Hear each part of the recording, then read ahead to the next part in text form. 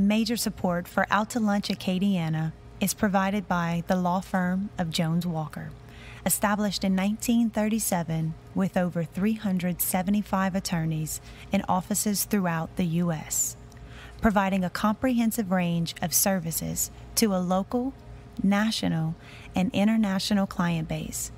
JonesWalker.com. And by Business First Bank, with locations throughout the state, including Lafayette and Lake Charles, providing personal and commercial banking, treasury management, and wealth solution services to help clients succeed. Business First Bank, banking with greater momentum at b1bank.com. Support also comes from Wyndham Garden Lafayette. From Cafe Vermilionville in Lafayette, we're out to lunch with Professor of Finance and Director of the award winning Burkenroad Reports, Peter Ricchiuti. It's business, Acadiana style. Hi, I'm Peter Ricchiuti. Welcome to Out to Lunch Acadiana. There's a great deal of uncertainty in the oil business these days. When times are tough and margins are slim, oil producers find ways to trim costs wherever they can. But no matter how big or small your company is, there are only so many people you can lay off. There are only so many wells you can close down. Oil producers still need to produce oil. What they want to do is produce it more efficiently. You'd think because we've been doing this here in Acadiana and around the world for a long time that by now we would have figured out all the cost cutting methods of getting oil out of the ground. Well, apparently we haven't. My three guests on Out to Lunch today have come up with new oil field innovations. We met these guys through our friends at Innovate Acadiana and the Opportunity Machine, Pete Prados and Zach Barker. Let me introduce you to Josh Suttles. Hello, Josh. Hi, how you doing? I'm so glad you were able to come with us here I'm today. Glad to be here. And uh, our next is uh, Aaron Broussard. Hello, Aaron. Hey, how's it going? And uh, and Calvin Calvin Fabre. Calvin, welcome. Thank you. Glad to be here. Normally, I'd uh, I'd start the show by giving a short introduction of each of y'all's businesses, but today I thought I'd reduce the possibility of displaying my ignorance about the cutting edge of oil field innovation by handing the microphone over to you and giving each of you an, a chance to give us an idea of what the innovations are and really what they do. So, Josh, let me start with you. You're the AIM division manager at, at Nacher Corporation, the inventor of a piece of equipment called the flange cuff. I'm going to come back to you and have you tell me exactly what an AIM division manager does. But first, tell us a little bit about the flange cuff. Well, well the flange cuff uh, was a tool that we designed uh, in order to assist our clients in hot bolting techniques. Um, on certain size flanges, you're, a, you're able to hot bolt and still maintain production, but there's some other type of flanges that, in order to safely exchange these bolts out, you have to shut down production. Which is very expensive. Right? Very expensive. You, are talking about loss of production, loss of time, and hours spent. So our tool uh, encompasses a flange with, through engineered torque settings and, and um, stress analysis, encompasses a flange, and we torque that up, and it grabs the pressure from the inside of the pipe grabs that pressure, holds it together, and we're able to exchange those studs without the loss of production. So that's that's the cuff in a nutshell. That's such a great idea. Why did why was why didn't a big company like Exxon or Halliburton come up with it? Why do we seem to find the ideas in the the smaller companies? Well, there are some other tools out there that kind of generally do the same thing that we we we done. But what we did is we developed a better, faster, safer technique of doing so that's what people want. that makes sense. Now, Aaron, you're part of a Lafayette institution, uh, Begnaud Manufacturing. We had Don uh, Begnaud on the Out to Lunch show, so we know a little bit about the metal factory and the machine shop. But you've developed a product called Power Brush Machines. Tell us about that. Yeah, so Power Brush Machines is a pneumatic thread cleaning device used in the oil and gas industry. Basically, what it does is it just cleans threads of all the different sides, casings, uh, tubing, drill pipe. So its its big deal is that uh, it's environmentally friendly because everything's self-contained, so nothing goes on the ground, um, and it's also a lot faster. So generally, our guys were uh, doing 15, 16 joints of tube a day, now we're up to probably about 300 with our system. So this is a pipe that's been used and take and has been taken back out. Sure. So it was part of a drill string, went down hole, and then came back up, and now they have to clean the threads for inspection. And then at that stage, that pipe can be re-rented or yeah absolutely absolutely that's the name of the game for the, the rental companies is to get it uh, out of the hole back to the yard and back out again as quickly as possible so we've been able to help them make that happen more efficiently. I can see why you'd be popular with that gang. There's that. Now, Calvin, you have uh, an interesting background, a combination of software development and marketing. You're known as a technical debt specialist, uh, which is working on time, money, and effort spent in the future to pay off poor design decisions of the past. You've developed an app called Spotter. It's gotten a lot of attention. Tell us about Spotter and its, its application in the oil field. Sure, Spotter is an iPad and Android tablet application. All right, same way I would buy a tablet? Yep, just like that. But it's an app that helps you remove pen and paper from the field. People are inspecting things all the time. They're taking pictures, they're writing, uh, they're making mistakes. And it, this lets you take a disconnected iPad into a plant, a refinery out in the oil field because it's intrinsically safe with a, a really cool explosion proof case. And it lets you collect everything that you normally would do with a pen and paper on a form. But it, it, it brings it in disconnected, so you don't have to be connected to the internet, onto your iPad. And then when you get connected, it sends all the data back to a little central hub where you can massage and analyze all the data. that Because you've the real problems in, in a lot of business is when you do have things with pen and paper, things get mistranslated and, and there's Exactly. delays. This, this has got to be a real help. That's right. The, the pharmacist is not the only one that has to decipher bad handwriting from doctors. So. Now, Josh, one of the things that surprises me is even during a downturn in this business in oil and gas, they conti- people continue to innovate. when people like us uh, decide to innovate, that's how we really set ourselves apart from our co- competition. Come up with a, a safer way to do it, do these things, um, more efficient. That way, we in the end game we save our clients more money. If we're able to do that, that is our self-marketing tool right there. That's what's that's what's going to set ourselves apart from the guys that just stay stagnant. It doesn't matter if you're in, in a, an upward type of economy or a downward slope. If you're able to do these things that are safer and more efficient and save more money, then that's that's how we rise above everybody else. Let me ask all of you in the in the oil field, are companies quick to adapt or slow to adapt to new technology? Uh, for us, I could I can I can speak on the flange cuff. It's it's been a process. So anytime that we try to introduce a new new tool to where we say we can encompass this massive amounts of pressure, and but you have to take our word on it. Uh, there's not too many people out there that's willing to do so. So you have to go through this very large vetting process, and this is not a vetting process that takes one to two weeks. I mean, we've been working with some of our clients for the past six months, just to get an opportunity to show and do live demonstrations. So, um, anytime you come up with new technology, there is a, a very large vetting process that has to take place. Just So you might be actually work. sort of giving the product away in the very beginning just to get get it out there. Yeah, you got you got to you got to prove yourself. You got to prove Yeah. that your product works, especially especially when there's safety involved.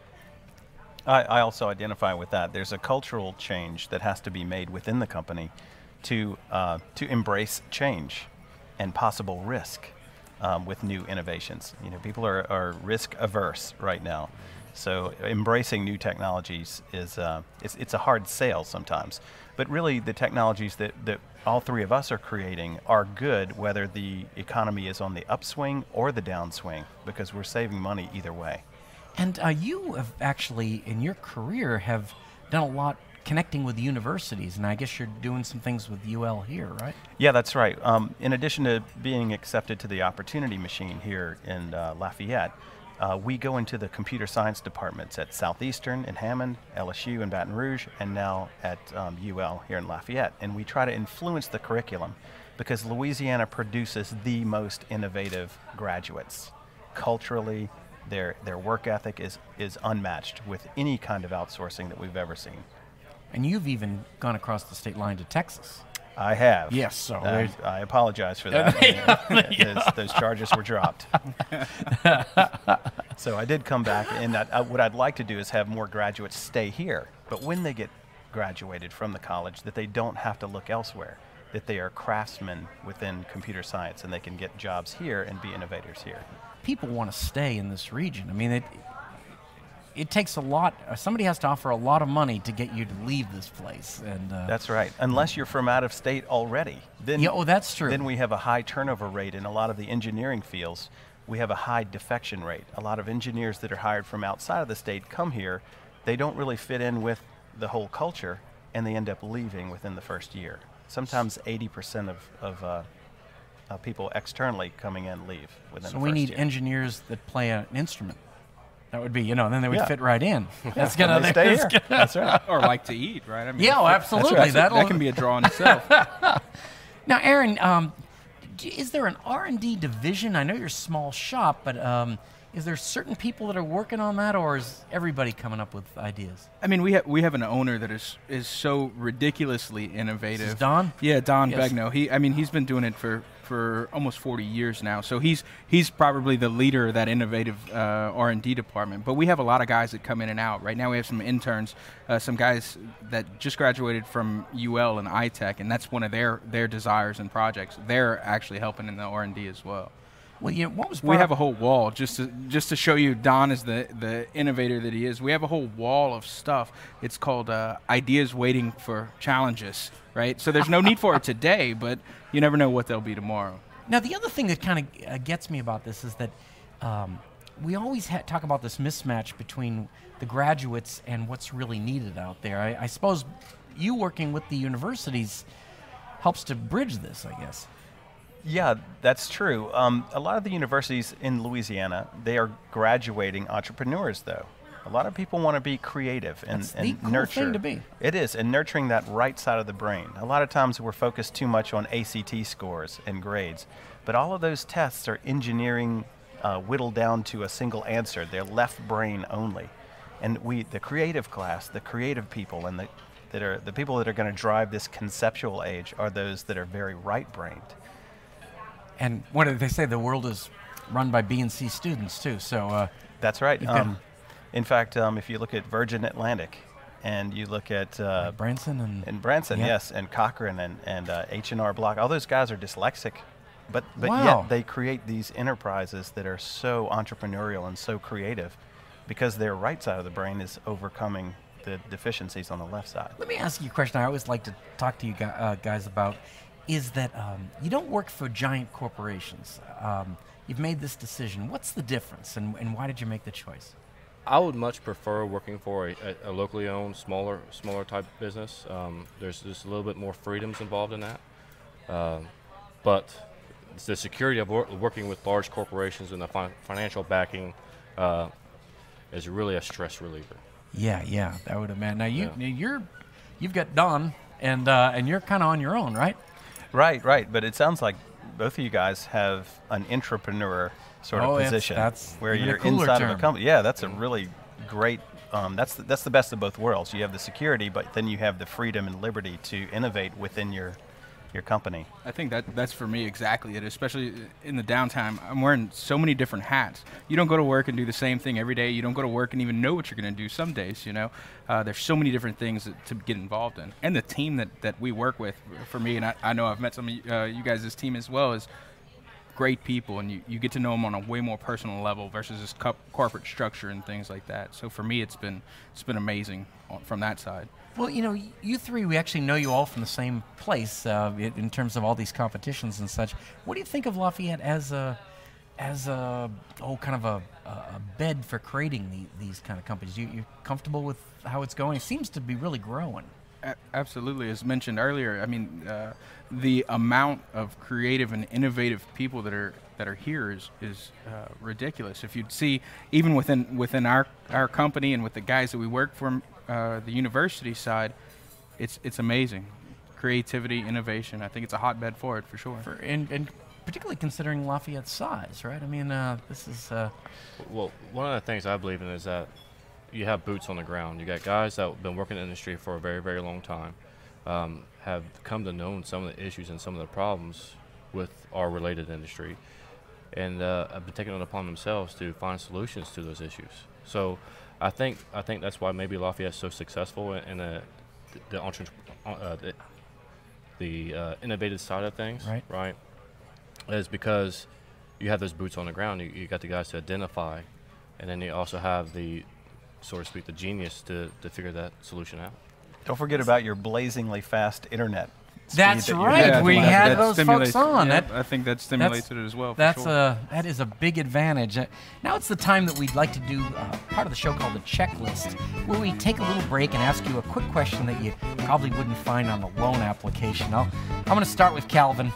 Uh, Calvin, what advice would you give to a new employee working in the mailroom? I guess this is kind of the, the bottom of the organization. That's a good question. The first thing I'd say is don't open my mail. Okay. just deliver it.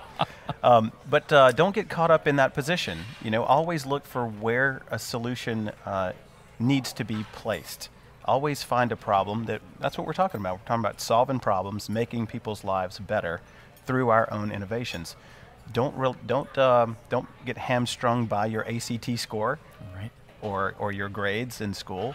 Be innovative and get passionate about something and exercise and, and get that passion out through innovation. So you're not going to be that mail guy forever. That's right. That's- you will not be. and Josh, what is your favorite gadget? You're kind of a techie guy, so I'll ask you. What's, Yeah. So I would have to say my wife. oh, wow. That is not one of the answers I had circled up here. And, Check, and, please. and she's, Check, and, please. and she's over there listening. So it's it's actually amazing, right? So all you got to do is give it a kiss every now and then, and it does exactly what you want it to do. Really? Yeah, that's right. That is. I'm not sure this is actually going to not be edited out, but I think that's an excellent. Uh, wow. All right. I was looking for a smartphone, but there's a there's a. Well, thank you, Josh, and I look forward to you getting your own apartment. This is something. All right, Aaron. What's your strategy for coping when things go wrong? And I guess they do go wrong. You know, occasionally it happens. For me, the fir- first thing, always most important, is to breathe. After you breathe, it's you have to push through it. So you assemble the best team you can, internal to the company, external to the company, and you just push through it together. Get really creative. That's all you can do, right? We're talking about innovation. Uh, our company motto is innovation through common sense. So you go back to that core level of common sense and try and try and go from there. And with that bad breath, what does that bring to you? You know, we, we, we started studying um, this whole mind body empowerment embodiment stuff and, and that's one of the things that they taught us was to center find your center and your core and your strongest from there so i guess it's kind of our I didn't think we'd get this kind of kumbaya part in these this soft engineering. skills. A lot of Soft, soft skills, skills that's going on right. Which part of the brain is that now? Ah, that's a lot of right, right brain. right there. brain. Great. Yeah. This is so. creativity, empathy. I think that's why yes. lunch is going so well. Is that you both part both halves of your brain. Sometimes people only you know come with half a head or something. And this is this is terrific. They, Josh, earlier we uh, was talking to you and you said that you're the uh, AIM division manager. What does that mean? Well, AIM stands for Access, Integrity, and Maintenance. Um, Okay. so Not archery. No, Okay. not archery. Uh, it's, it's a very very wide acronym. So basically, the division that I'm responsible for is a multi-discipline, multi-service type trade skill set provider for the oil field. So what we do, what we specialize in, is putting together these multi-discipline, multi-craft crews, right? Lower the POB, uh, POB space on these facilities, and and try to shorten shorten jobs and try to get more things accomplished in less time, less money. Now, who would you be hired by? Would you be hired by the E&P company or a service company or? Uh, we do. It's very very broad. We, we do a lot of work uh, in the Gulf of Mexico, so we do a lot of the E&P stuff. Um, but we also tag along with some of the other service companies to assist them in things that they don't specialize in. So we we partnership we partnership with a lot of different people. Um, and the, and the great thing about it is is that we ha- also have other cost-effective um, methods of doing this work. So a lot of our guys that we have in the AIM division are rope access certified. And rope access is, to put it in a nutshell, it's a, uh, a method of going somewhere that will eliminate scaffold and man lifts, that kind of thing, by using mountaineering techniques. So these guys will actually go up and they'll do the, the inspections, the painting and blasting, and, and uh, other skill sets climbing up these things? by, by ropes. Whoa. That's right. So that kid that always liked to climb, we now have a job for him. Yes, they have a, they have a job. They Wow. just call me. Just call you the. Uh, and Aaron, who are your clients? Is it the rental tool company or the, the pipe company? So we do pipe pipe inspection companies, rental tool companies. Um, yeah, pipe inspection companies are a big big customer of ours. Uh, pipe yards also, and the rental companies themselves. Yep. So in the inspection, that's beyond the, the power brush side. This is No, absolutely not. Power brush is very necessary in the inspection process. So what happens is is there's all this pipe dope and junk on the, the threads. They have to clean those threads to be able to tell if it's still going to be good and usable. and how Yeah. many? Go if, ahead. I, if you don't mind, if I can add to that, we do a lot of these pipe inspections that he, he talks about. And the great deal about his product is that it used to take days for us to clean the threads on these pipe connections to do the, our inspections. If we would have had that 10 years ago, I mean, that's that part of the business where we could have set ourselves aside from our competitor because there was no one else that had that 10 years ago. So it's actually a great, great tool. Hey, let me ask you something. When I've been a judge on some of these entrepreneurial contests and such, uh, um, it's oftentimes you guys obviously all won. Uh, you not only had great products, but it's the delivery and being able to explain your passion for the product and all. How, what did you guys do to get ready to to be in these contests and to do so well? Did you like? I, I had coworkers just give me a hard time for about two weeks before. We also, I think we all attended. Kind of devil's some- advocate kind Yeah, of guy? they, yeah, they they they made uh, it all measurable until it was ingrained in my head. I think. Uh, but we also they had um, a guy named Joel Dawson, really really good guy. He was a Yeah. Toastmaster Award winner. Sure. He he kind of went through the process with it as well. But for me, I mean, I, I probably ran that pitch before we we did it probably hundred times at least. Wow. Even got my mom involved at one point. So oh, really? You're pulling out all the stops. Absolutely. Calvin, what did you? Uh, It's all about rehearsing, um, rehearsing the timing. You know, what are the main points? What is the main pain that we're addressing, and uh, and getting those those uh, those benefits out. And they Not only just give you how much time, benefits. Calvin? Uh, just Three- a, three just a- minutes. Yeah, three, three minutes. minutes. Three minutes. And there's Wow. a there's a just like we're at a political debate. There's the the green light, the yellow light, and the red light. And you better stop. They're going to interrupt they, you. they threatened to kill the, the PowerPoint and the lights. I think if we went. Oh yeah, trap door. They uh, now, uh, Calvin, you've got. Uh, tell us again what technical debt specialist is. I mean, I get the I- idea that you're fixing things that weren't done right the first time and Exactly. saving money, but what's what's it about, and why Yeah, is it called that? in the software world, technical debt is the time and money that you are going to spend in the future because of a bad design dis- decision of the past. If your boss, our bosses, have all come to us and said, "Get this done. I don't care what it takes. I need it done by Monday. Cut whatever corners you want. Put whatever shoddy work you want in there, but just get it done." the one thing he never does is come back and say, "Remember the time I told you to get it done really fast? Well, now we've got all the money and time to go back and do it right."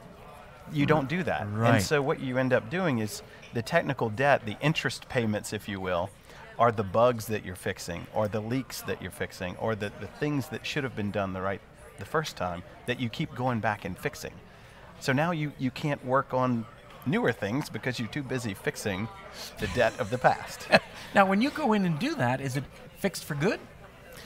Yes, a lot of times we have to say, well, this is either a rewrite or we're going to need to spend a lot of time reworking this. And a lot of times companies will out, get outsourced uh, programming from overseas.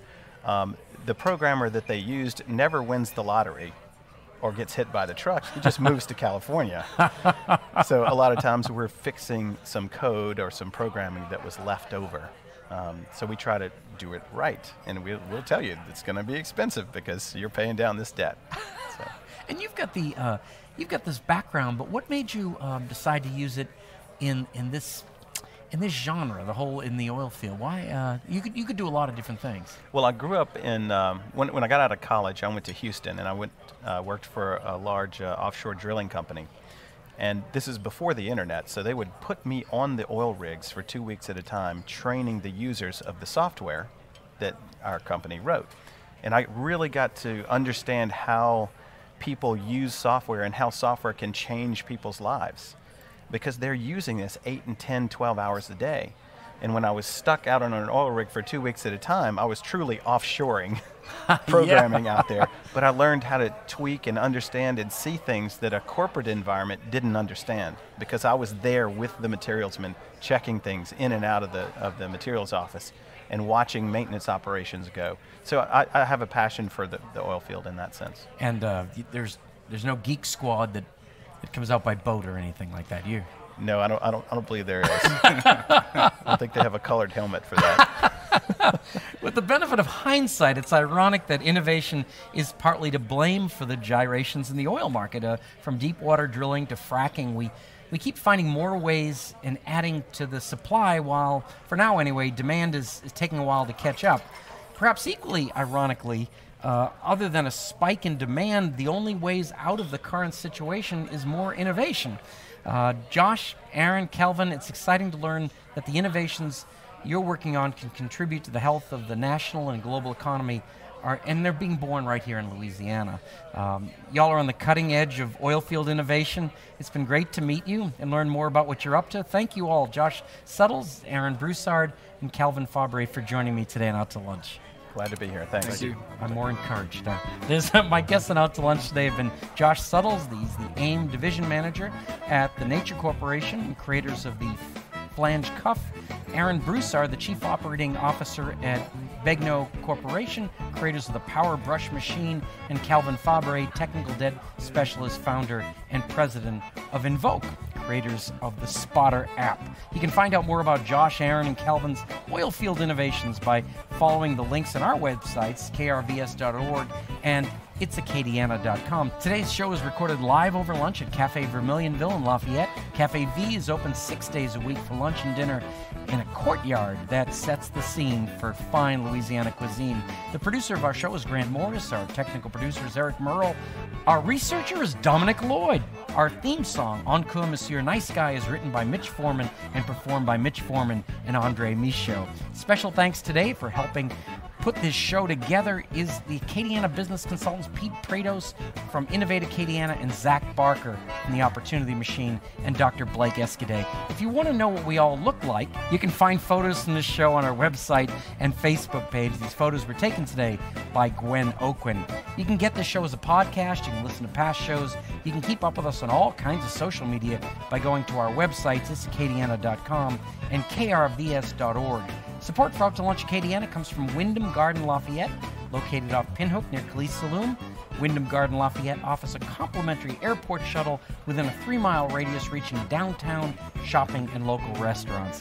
Out to Lunch is a production of INO Broadcasting for itsacadiana.com and KRVS 88.7 FM. I'm Peter Ricchiuti. Thanks for joining me. I look forward to meeting you again next week around the table here at Cafe Vermilionville for more business, Acadiana style, on Out to Lunch. Major support for Out to Lunch Acadiana is provided by the law firm of Jones Walker. Established in 1937 with over 375 attorneys in offices throughout the U.S., providing a comprehensive range of services to a local, national, and international client base. JonesWalker.com. And by Business First Bank, with locations throughout the state, including Lafayette and Lake Charles, providing personal and commercial banking, treasury management, and wealth solution services to help clients succeed. Business First Bank, banking with greater momentum at b1bank.com. Support also comes from Wyndham Garden Lafayette.